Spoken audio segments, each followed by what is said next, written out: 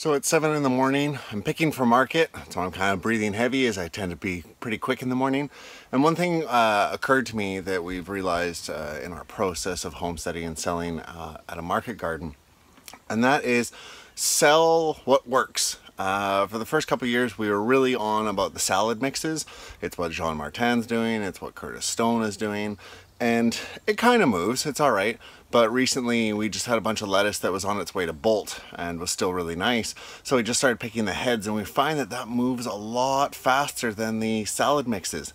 Less labor, more volume, that's what works for us. And you know, uh, I'd say drip irrigation is another one that, uh, from what I've seen, John Martin has never been a big fan of, but works for us, uh, especially on the west coast here in the Cowichan Valley, where we're getting water restrictions because of drought conditions. Uh, it's kind of the right thing to do and kind of works best for the produce.